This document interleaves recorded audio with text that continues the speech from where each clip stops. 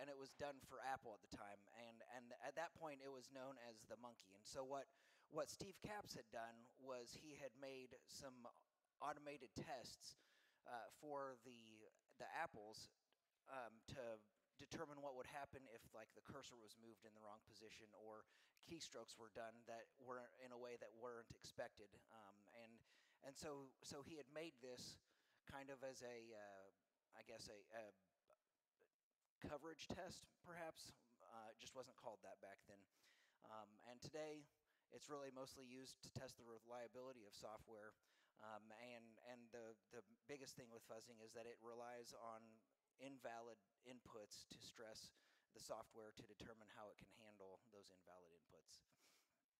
Uh, so fuzzing primarily now, we do recognize it more as a security security oriented testing.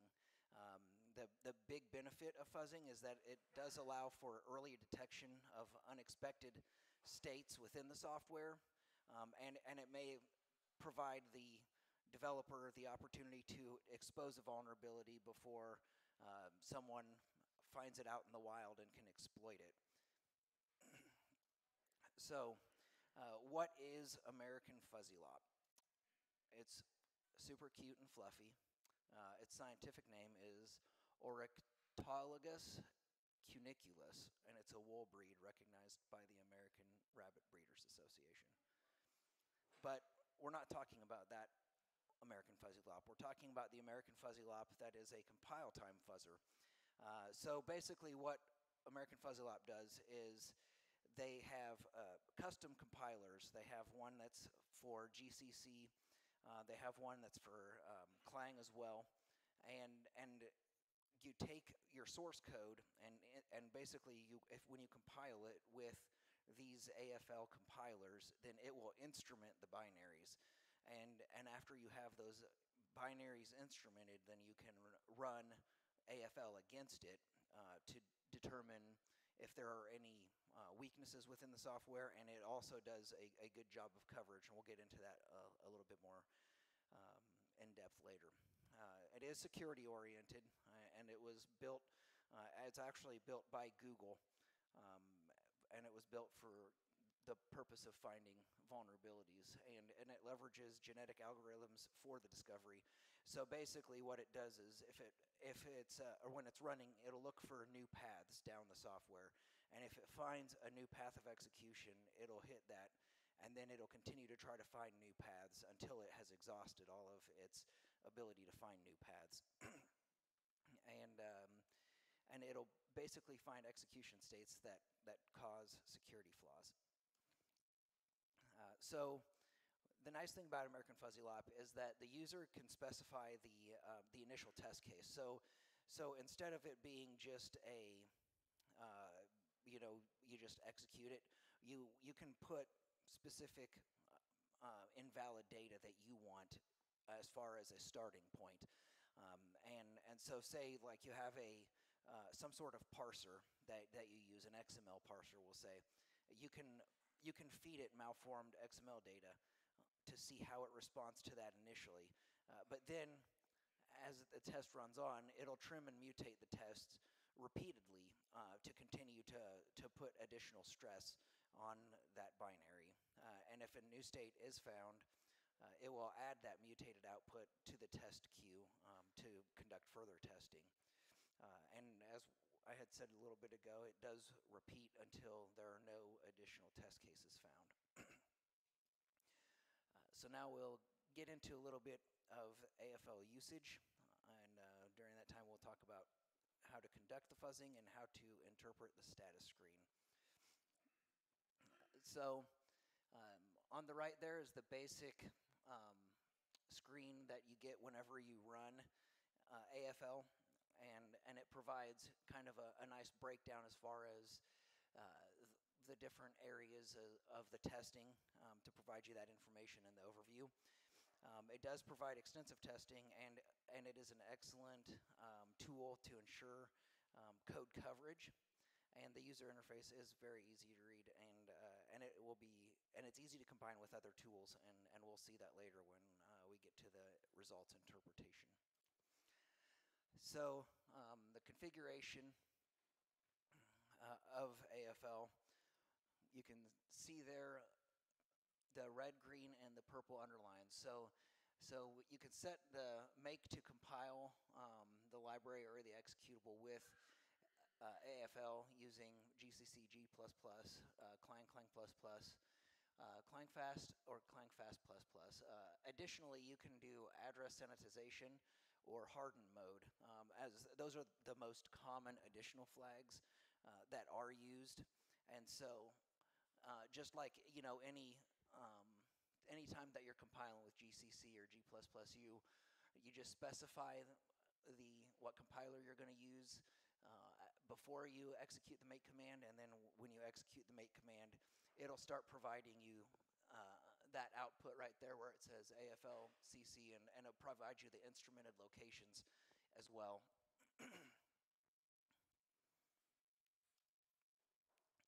uh, so the basic AFL usage, um, this is kind of the very basic overview of how you use it. So the, the command is AFL fuzz. Uh, and then you, TAC I is for the inputs. Now the inputs is not a file; it's a directory, and and you have you have multiple files within that directory, uh, or you can have a single file. Uh, but the more that the more malformed data you have, um, the more thorough the test is going to run to make sure that that it's ca- uh, caught any you know fringe cases that that may cause problems. Um, and and those inputs in that input directory are manipulated um, by AFL to change um, additional inputs later on. Um, the TAC O is where you specify the outputs directory, and the outputs directory is where the information such as crashes, hangs, um, and, and different status type messages are stored. and uh, lastly, then you specify um, the executable to fuzz. In this case, the name of the executable is vulnerable. Um, and additionally, if there if that executable takes any command line arguments, um, you just add two ampersands at the end after the executable, and, and then it'll take some of those inputs and, and start passing it through as uh, command line. Um, and so now AFL uh, in the running process. So the status screen basically is broken down uh, into multiple sections. You have the, the process timing section, which is up there uh, at the very top. Um, the cycle progress, which is right below it, the stage progress, uh, fuzzing strategy yields, uh, the path geometry, uh, findings in depth, map coverage, and then the overall results.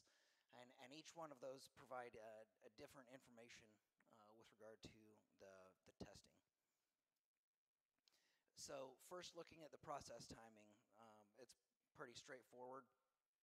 Uh, the runtime is basically the overall duration, uh, and this is not a fuzzer that um, will stop.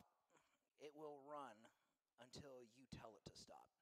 Uh, there's been times where I wanted to test something and I let it run for it was I think it was close to a week, um, just continuing to run constantly. And, and it was still, uh, we'll get into that a little bit uh, more whenever we get into the other tests, um, test areas. But, but basically, the status screen will change color, letting you know where you are in the, the test process. And, and if it stays like a yellow or a red, it means that it's still finding more paths. So so I was still finding more paths, you know, a week into testing, and at that point I was like, well, this, I might as well stop because it's never going to end.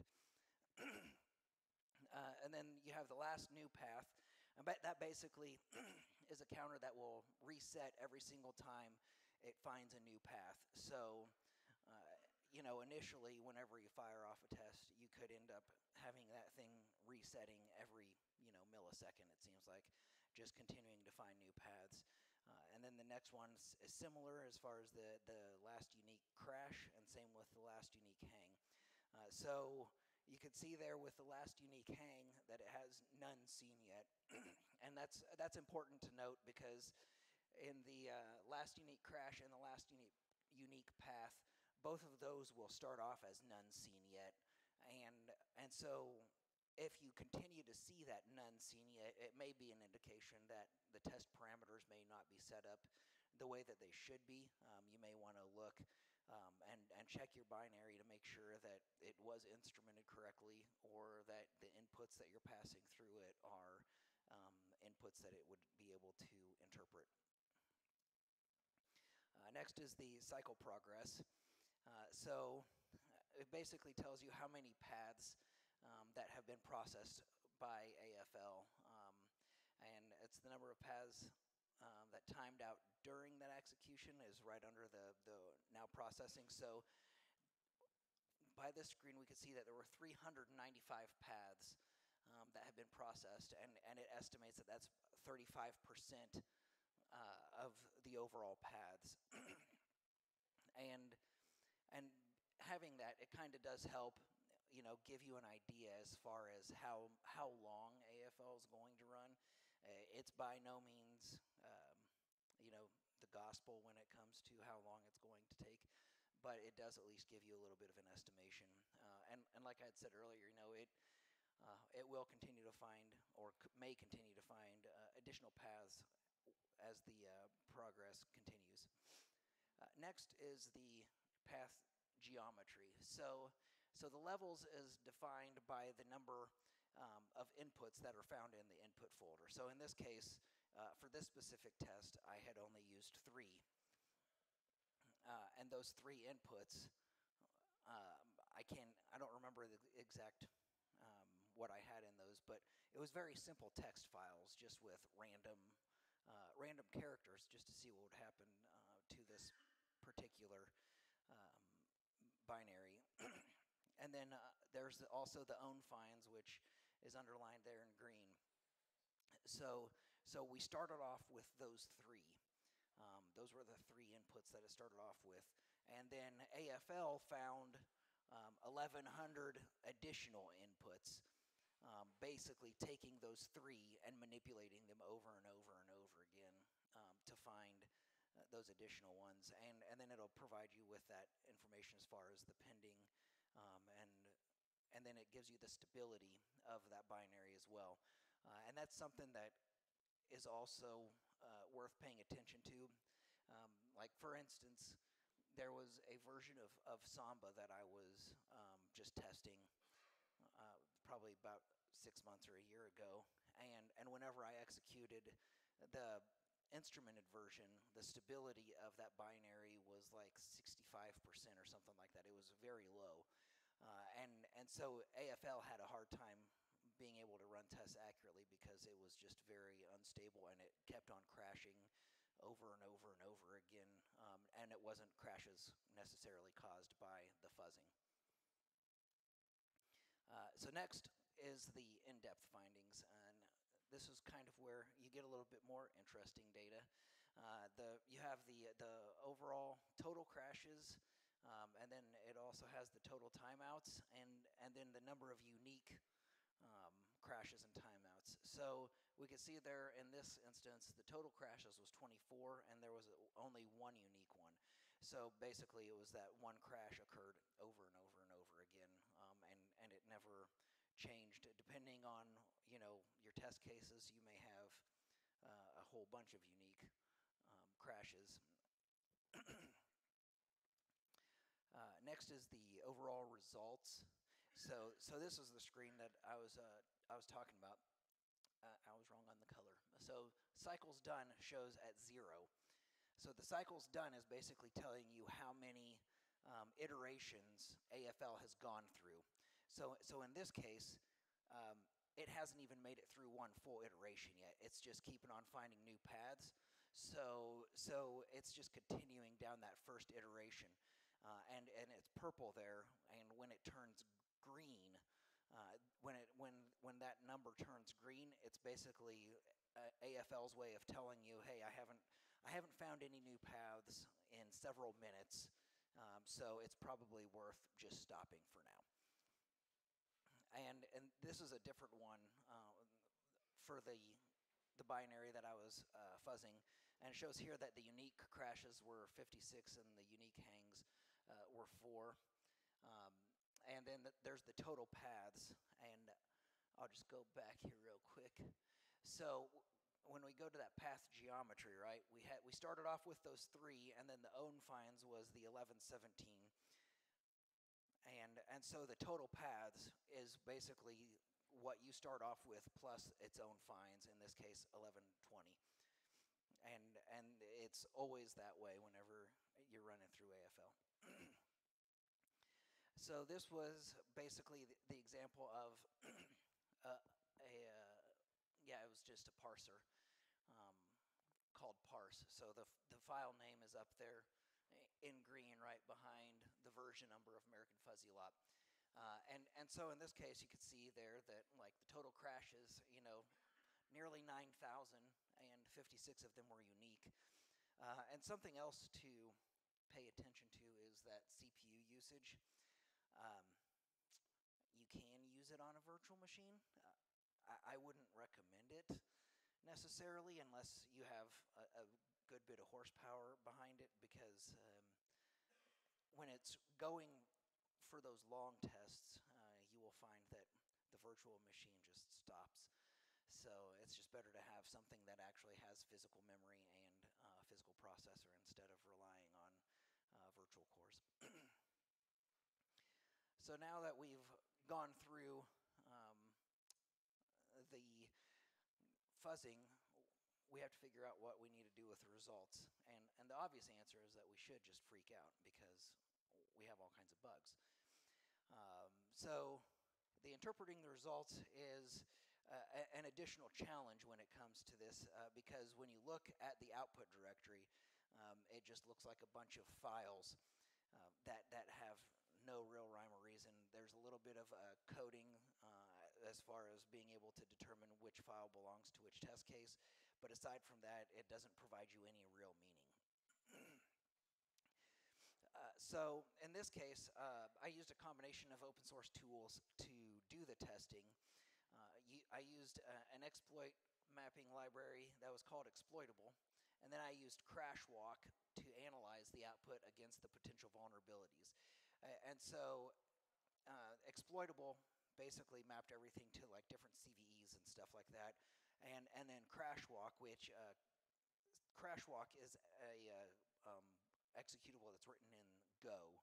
Uh, so um, I had not really dealt with Go before, but it's really fairly straightforward. But it's something to keep in mind if you're going to execute this in the future. That you want to make sure uh, that you have uh, the ability to compile Go uh, on that computer. and so uh, we specify the different command line switches there. Uh, we have the root starting basically saying we want to start um, at the root of it, and uh, and then we go um, to the outputs, uh, showing that the specific crash folder, and then we we want to match it by crash ID, and then we're going to uh, take the crashes that were in that crash folder and execute those crashes against the instrumented executable to see, uh, or basically to validate uh, and, and to ensure that those are crashing where they say they are. Uh, so here is the basic crash uh, summary screen. And, and this is all in the console. It, it's not something that is immediately printed out in text. So we can see there that you have the, the disassembly of, of the crash, crash execution, and then you have the stack trace, and then the memory register locations. Uh, and then above that, it does provide you with additional information as far as like uh, what what the file's hash was, um, what the command was that was being executed, so that way you can look at the test case. And and then it'll provide you some additional information down at the bottom as far as um, what what caused uh, the crash or what signal or yeah basically what caused the crash. Uh, so looking at the crash summary uh, we can see there like i said it provides you the file name of the um, the test case. So that test case like i said you know it just says um, like uh, the id colon numbers strings and and so those are those are what are created by AFL during execution, and and th- those are basically the iterations that AFL goes through, and um, and it determines where the different um, crashes occur. And so you have like havoc. I'll go back here real quick. Um, so in the stage progress has their now trying havoc. So there's different um, different things that it tries throughout the fuzzing, and in this case, uh, we can see it by the file name that that crash occurred during um, the havoc stage. Uh, and then we also can see what the command was uh, whenever the crash, or what the command was to make the crash occur. So, you know, it was in this case that it used the parse uh, binary and then it fed in uh, the that file um, from the crash. And, and then lastly, um, the, the red underline there, the faulting frame, it provides the indication uh, of the frame of code that was causing uh, the crash. And so we can see there that um, you know, it doesn't provide you great detail, but it does provide you with a uh, memory address essentially, and and we'll get a little bit further into that on the next slide, or maybe the slide after that. Um, so crash disassembly, uh, that's the, the next part of the output. So uh, basically, it's I guess you could look at it something like like a uh, similar to a um, reverse engineering framework or something along those lines where where it does just disassemble and and, and you can then start walking your way back through the executable to see where things went wrong. Um, and we'll get a little bit more into that later, but we, but we could see, you know, there's there's that uh, memory location, and then you'll be able to align that memory location uh, within the disassembly, and we'll get to that uh, in, in one of the next slides. And then we have the, the overall stack trace, right? And so this is kind of getting more into that. We have um, the, the trace of where the faulty location was. So uh, if you have a good memory, you'd be able to look at that and then go back to the the crash disassembly and find that same memory location and be able to, to walk your way back up. But in, the ca- in this case, I just kind of underlined it because it was easier. Uh, and then, uh, the, yeah, the, the blue line there, it points to the memory location um, to be able to cross-reference uh, with the disassembly. Uh, and then last is the um, crash memory registers, and, and that provides you the locations, obviously, within the memory of where uh, the crash occurred. Um, and it presents the registers associated with the specific memory locations. Uh, in this case, uh, looking at the registers, it's a 64-bit uh, based uh, system, and and this is helpful whenever you're working with the, the assembly language and being able to step back um, through the the overall crash process. Uh, so here we can see the, the crash correlation. So in the disassembly, uh, we have that memory location, and then it gives us the information as far as what was happening, and, and there was a move command. And then in the trace, we can see uh, that, that same memory location uh, in, the, in the stack trace. And then lastly, in the memory registry, it shows you where that uh, memory location was for uh, that, or where that the memory register was for that specific um, instance that caused the crash. Uh, so the crash explanation, uh, this is kind of useful, but I guess it's also kind of vague, right? It it doesn't really tell you, well, you you know, this poor coding practice caused this or whatever. Uh, it just, you know, it gives you pretty generic explanation. The target is stopped on uh, a SIG abort. SIG aborts uh, are often generated by libc and compiled check code to indicate potentially exploitable conditions.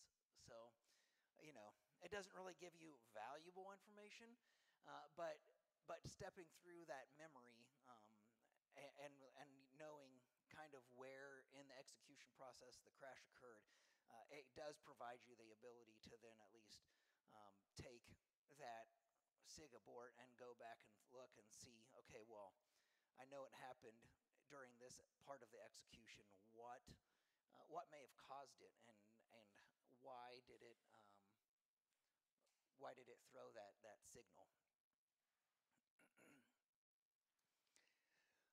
so now we'll talk a little bit about the uh, the value of fuzzing. Um, one of the big things is what should we fuzz, right? There's, um, I think oftentimes when we think of fuzzers, um, you know, I know that in in past life experiences, fuzzing has been really geared more towards uh, web applications, things like that, to determine um, how stable they are.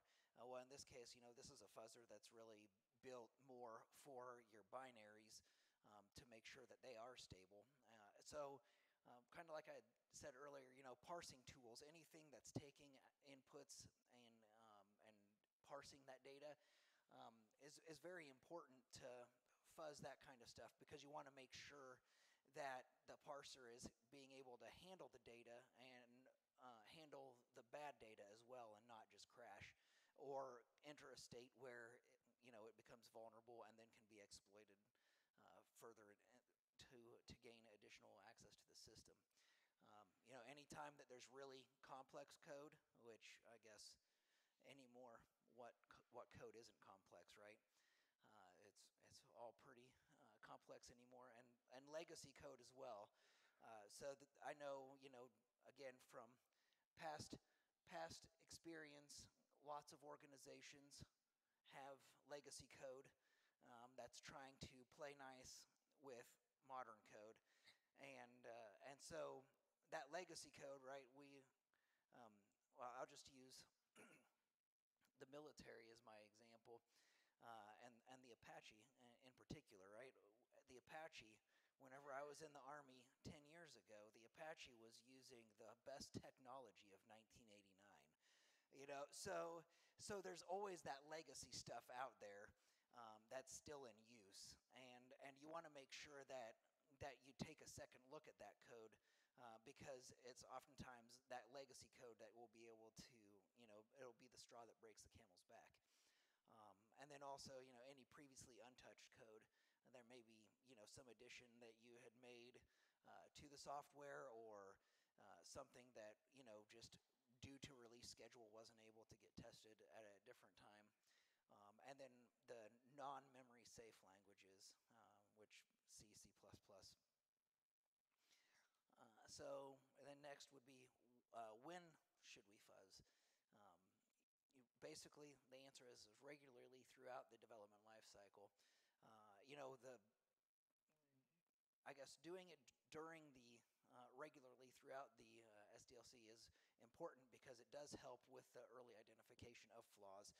And, and by that, you know, um, we as security professionals, right, we always are fighting for budget and uh, no one wants to pay the bill for security.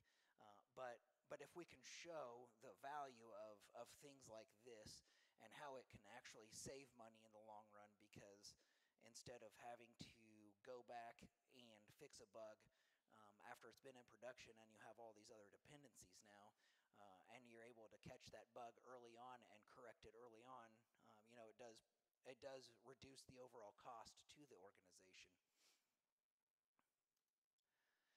Uh, and so another obvious question is, is, well, what if you're not using C or C++? uh, there's a bunch of community support for different languages. Uh, there's a Python um, version.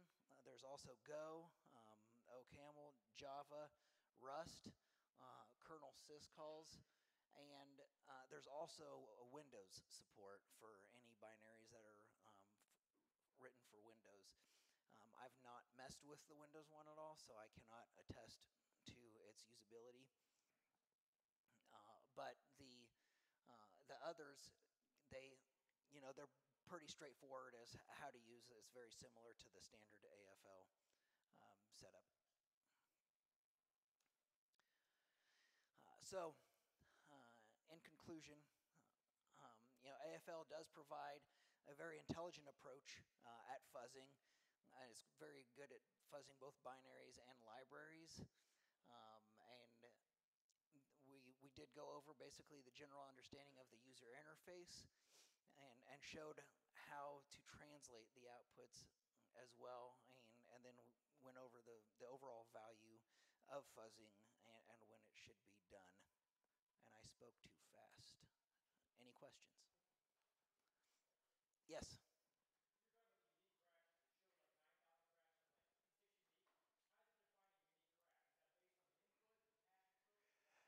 Uh, yeah, so uh, basically it'll be a, a, a combination. Um, it, it, could, well, I shouldn't say combination. It could be the path, um, or you know, it could be a, a manipulation in the input. Uh, but it's it's basically yeah, like if it's um, so if you're if you have that same input run over and over, uh, the, so I guess technically talking through it here, it's more towards the inputs. It does take into account like the the the depth of where you're executing, but at certain aspects, it's really only looking at the manipulation of the the inputs. Because if you're using that same input over and over, you're being able to demonstrate like it's not a unique crash at that point. You're using that same input to crash it over and over and over. But if you're using that, you know, that if you're using that same input uh, somewhere else that's completely separate, um, not related to that bit of code, then that would be a unique crash. Yes. Yep. Anyone else? Bueller? All right. Well, uh, I guess you guys have uh, a few extra minutes before the next.